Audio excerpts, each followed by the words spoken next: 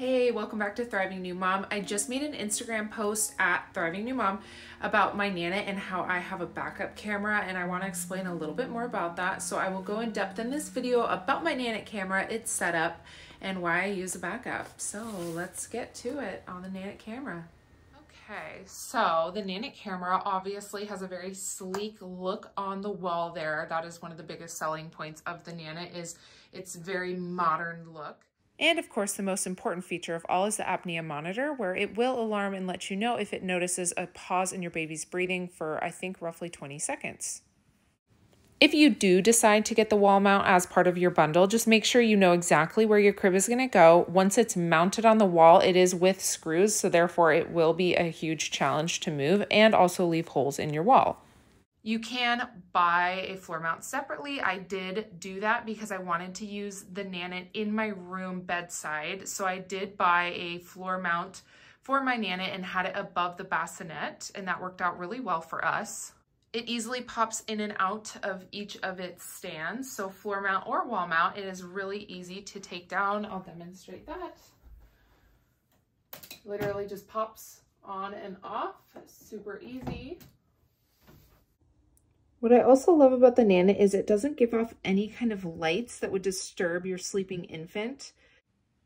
I had a lot of difficulties getting my baby to sleep, so it was really important to me that I didn't have any extra light in the room that would distract him, especially right above his crib.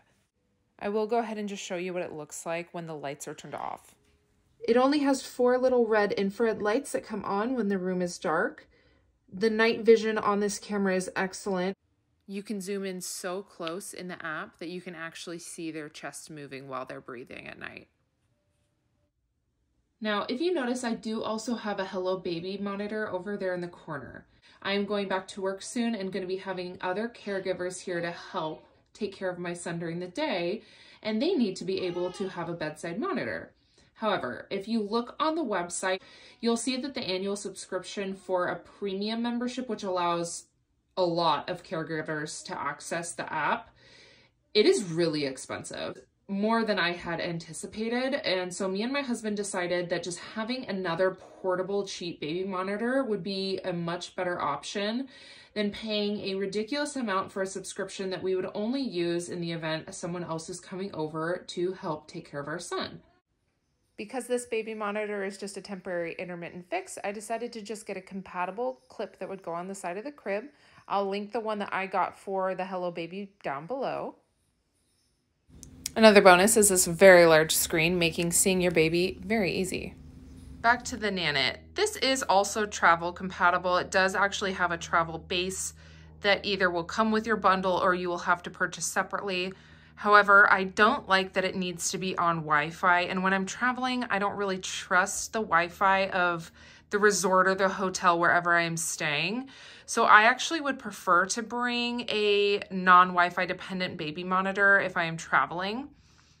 That being said, at home, I know that there's a big stigma between Wi-Fi and baby monitors, and rightfully so. Nanit offers two-factor authentication, so you feel like you're a bit more secure and protected. Personally, I really love the Nanit band setup here. You can use it with any sleep socks that people love. Like this is a Kyte sleep sock. I also have a Gunamuna sleep sock and this band works well if you have sleeveless arms. If your baby is still in a swaddle, you have to buy Nanit specific swaddles for this product. That's because you can't use this band if their arms are swaddled in. It's a safety risk because this band could start to shimmy up the body and then next thing you know, it could be blocking their mouth or their face or their nose. But if they have their arms out, this is perfectly safe. I really have enjoyed using it and I have had no false alarms with this Nanit. As long as this band is on tight enough, it will pick up the motion of the breathing really well.